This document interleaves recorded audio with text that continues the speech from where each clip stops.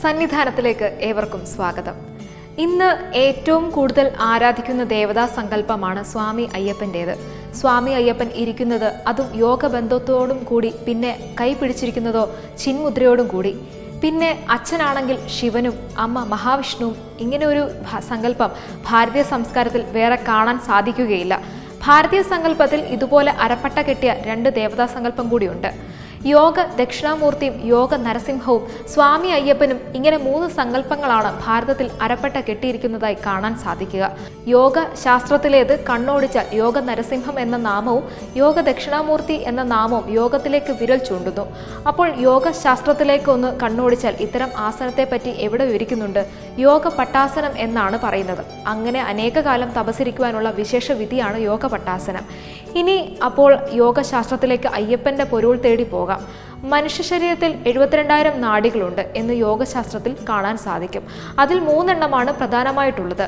സുഷുപ്ന ഇട പിങ്കള എന്നിവയാണ്. ശ്വാസം അകത്തേക്ക് എടുക്കുമ്പോൾ ഇടാനാഡിയും പുറത്തേക്ക് പിങ്കളാനാഡിയും പ്രവർത്തിക്കുന്നു എന്ന് യോഗശാസ്ത്രം അനുശാസിക്കുന്നു. ഇതിൽ പിങ്കള നാടിയെ പരമശിവൻ എന്നും പരമശിവനെന്നും ഇടാനാഡിയെ മഹാവിഷ്ണു എന്നും യോഗശാസ്ത്രത്തിൽ വിളിക്കുന്നുണ്ട്. ഇടാനാഡിയും മഹാവിഷ്ണുവുമായുള്ള ബന്ധം വരുന്നത് ഇടാനാഡിക്ക് ചന്ദ്രനാടി എന്ന് പേരുണ്ട്. ചന്ദ്രന്റെ സഹോദരിയായ മഹാലക്ഷ്മിയുടെ പതി മഹാവിഷ്ണു ആയതുകൊണ്ട് ഇട നാടിക്ക് മഹാവിഷ്ണു എന്നും പറയുന്നു. പിങ്കളാനാടി ചൂടുമായി സൂര്യനുമായി ബന്ധമുള്ളതുകൊണ്ട് അതും പരമശിവനുമായും അറിയപ്പെടുന്നു. അപ്പോൾ എന്തിനാണ് ഈ നാടികളെ മഹാവിഷ്ണുവെന്നും പരമശിവനെന്നും വിളിക്കുന്നത്? പരോക്ഷപ്രിയ ദേവ എന്നാണ്. ദേവന്മാർ പരോക്ഷപ്രിയരാണ് നേരിട്ട് ഒരു കാര്യവും പറയില്ല.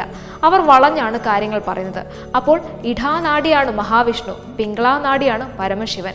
ഇടയും പിങ്കളയും ഒന്നു ചേരുമ്പോൾ പരമശിവനും വിഷ്ണുവും ഒന്നു ചേരുമ്പോൾ അച്ഛനായ പരമശിവനും അമ്മയായ മഹാവിഷ്ണുവും ഒന്നു ചേരുമ്പോൾ അതായത് അകത്തേക്കെടുക്കുന്ന ശ്വാസവും പുറത്തേക്കെടുക്കുന്ന ശ്വാസവും ഒന്നാവുമ്പോൾ സുഷുപ്ന എന്ന് മധ്യനാടി തുറക്കുന്നു.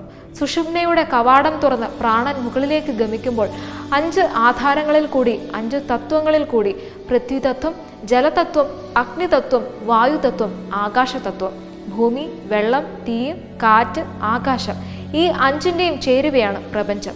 പ്രകർഷേണ പഞ്ചീകൃതമാത് പ്രപഞ്ചം. ഈ അഞ്ചിന്റെയും മൂലാധാരം സ്വാധിഷ്ഠാനം മണിപൂരകം അനാഹതം വിശുദ്ധി ചക്രം ഈ അഞ്ചിന്റെയും അപ്പനായി അല്ലെങ്കിൽ നേതാവായി വാഴുന്നവൻ അയ്യപ്പൻ. ശിവന്റെയും വിഷ്ണുവിന്റെയും സംയോഗത്താൽ അതായത് ഇടാപിങ്കള കൂടിച്ചേരുമ്പോൾ അകത്തോട്ടും പുറത്തോട്ടും പോകുന്ന ശ്വാസം ഒന്നാകുമ്പോൾ സുഷുപ്ന നാടിയുടെ കവാടം തുറന്ന് പ്രാണൻ ഈ അഞ്ച് ആധാരങ്ങളെയും കടന്ന് ഉത്ക്രമിക്കുമ്പോൾ അഞ്ചിന്റെയും അപ്പൻ അയ്യപ്പൻ എത്ര മനോഹരമായ സങ്കല്പം. ഈ മനോഹര സങ്കല്പമാണ് മഹർഷിമാർ പറഞ്ഞിരിക്കുന്നത്. വിശേഷേണ ഗ്രഹിക്കേണ്ടത് വിഗ്രഹം. അപ്പോൾ അയ്യപ്പസ്വാമിയുടെ ഈ വിഗ്രഹത്തിൽ എന്താണ് ഗ്രഹിക്കേണ്ടത്? ദീർഘകാലം തപശ്ചര്യയിൽ മുഴുകുമ്പോൾ ഇടാപിങ്കളകൾ ചേരുകയും പ്രാണൻ അഞ്ച് ആധാരങ്ങളെയും കടന്ന് ആജ്ഞാക്രമത്തിൽ നിൽക്കുകയും ചെയ്യും. അപ്പോൾ ദീർഘകാലം തപസ്സിൽ മുഴുകുമ്പോൾ ഇടാപിങ്കള നാടികളുടെ സംയോഗത്താൽ സുഷുപ്ന കവാടം തുറന്ന് പ്രാണൻ അഞ്ച് ആധാരങ്ങളെയും അയ്യപ്പനാകുവാൻ സാധിക്കുന്നു. ഈ പഞ്ചഭൂതങ്ങളെയും ജയിച്ചു കഴിഞ്ഞാൽ അയ്യപ്പനായി കഴിഞ്ഞാൽ ജീവാത്മാവിനെ പരമാത്മാവിനെയും യോജിക്കുന്നു എന്ന് ചിന്മുദ്ര സൂചിപ്പിക്കുന്നു. അങ്ങനെ ജീവാത്മാവും പരമാത്മാവും യോജിക്കുമ്പോൾ പ്രാണൻ ആജ്ഞാക്രമം ഭേദിച്ച് സഹസ്രാരത്തിൽ എത്തിയിട്ടുണ്ടാവും. അങ്ങനെ സാധാരണ രീതിയിൽ വ്യവഹരിക്കുന്ന ഒരു മനുഷ്യന് അത്യുന്നതങ്ങളിലേക്ക് എത്തുവാൻ വേണ്ടുന്ന സമ്പ്രദായത്തെ ക്രോഡീകരിച്ചുള്ള ഒരു സങ്കല്പമാണ് അയ്യപ്പൻ. ജീവാത്മാവും പരമാത്മാവും രണ്ടല്ല ഒന്നാണ് എന്ന് ആ ചിന്മുദ്ര മനസ്സിലാക്കി തരുന്നു. അഞ്ചു വിരലുകളുള്ള ജീവികളിൽ മനുഷ്യന് മാത്രമേ തള്ളവിരലും ചൂണ്ടുവിരലും ഒന്നിപ്പിക്കാൻ സാധിക്കൂ. അപ്പോൾ മനുഷ്യജന്മത്തിലൂടെ മാത്രമേ ജീവാത്മാ പരമാത്മാ ഐക്യം സാധ്യമാകൂ എന്ന് അദ്ദേഹം മനസ്സിലാക്കി തരുന്നു. അപ്പോൾ ആ മോക്ഷത്തിലേക്ക് നമ്മൾ എന്തെല്ലാം ചെയ്യണം? ദീർഘകാലം തപസ്സിൽ മുഴുകണം. ഇടാപിങ്കളകളിലൂടെ ഒഴുകുന്ന ശ്വാസത്തെ നിയന്ത്രിച്ച് സുഷുപ്നയിലൂടെ കൊണ്ടുവന്നാൽ അഞ്ചിന്റെയും നാഥനായ ഭൂതനാഥനായ ആ ഗുരുനാഥനെ അയ്യപ്പനെ കാണാം. അങ്ങനെ ആ തലത്തിലെത്തിയാൽ അദ്ദേഹം നമുക്ക് മനസ്സിലാക്കി തരും. ജീവാത്മാവും പരമാത്മാവും രണ്ടല്ല ഒന്നാണ്. നീ ഭയപ്പെടേണ്ട നീ അന്വേഷിക്കുന്നത് നിന്നിൽ തന്നെയാണ്. സത്യം നീ തന്നെയാണ്. തത്വമസി എന്ന്. സ്വാമി ശരണം.